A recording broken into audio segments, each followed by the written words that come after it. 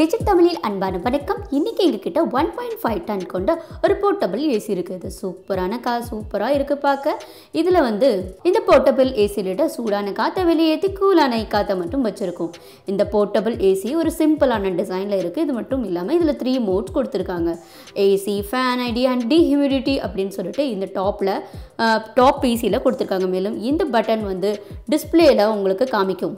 இந்த டிஸ்பிளேயில் உங்களுக்கு time control sensing mode temperature control on off button அப்படின்னு சொல்லிட்டு ஸ்பீடு ஃபேன் ஸ்பீட் கண்ட்ரோல் இந்த மாதிரி வச்சுருக்காங்க. அதே மாதிரி இதே மாதிரி சேம் ஆப்ஷனை இவங்க கண்ட்ரோல்லையும் கொடுத்துருக்காங்க. மேலும் இங்கே இந்த டிஸ்பிளேயிலும் display mode AC on off அப்படிங்கிற இதுலேயும் இருக்குது இதனுடன் இதில் பவர் பட்டனை சென்டரில் வச்சு கொடுத்துருக்காங்க. டைமர் கண்ட்ரோல் மூலமாக சுவிட்சை ஆன் ஆஃப் ஈஸியாக செஞ்சுக்க முடியும். மேலும் இந்த டிஸ்பிளேல ஆன் ஆஃப் இருக்கா அப்படிங்கிறத இந்த இண்டிகேட்டர் மூலமாக உங்களுக்கு ஷோ ஆகும். நீங்கள் இந்த டெம்பரேச்சர் சேஞ்ச் பண்ணணும் அப்படின்னா செல்சியஸ் அல்லது பெனியன்ட் அப்படின்னு சொல்லிட்டு உங்களுக்கு ஏற்றபடி மாற்றிக்கலாம் மேலும் இந்த டிஸ்பிளே கம்ப்ரஸர் இண்டிகேட்டர் ஷோ ஆகும். கம்ப்ரெசர் வந்து ஆனில் இருந்தால் லைட் எரியும் அதுவே ஆஃபில் இருந்தால் லைட்டும் ஆஃப் இருக்கும்.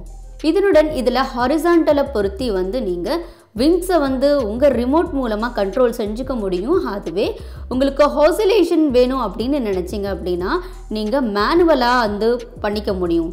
இதனுடன் இந்த பின்னாடி பார்த்தீங்கன்னா ஹாட் வெண்டிங் டியூப் கனெக்டும் கொடுத்துருக்காங்க.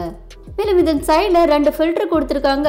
இங்கே உங்களுக்கு சைடில் உங்களுக்கு எப்போ தேவையோ அப்போ எடுத்து க்ளீன் பண்ணிக்கலாம். இதனுடன் வாட்டர் எங்கள் பின்னாடி வந்து அப்போ வெளியே வந்து சுத்தமாக பயன்படுத்திக்கலாம். இதனுடன் இதில் வாட்டருக்காக ஒரு வாட்டர் எவாப்ரேஷன் ஃப்ளோவும் கொடுத்துருக்காங்க.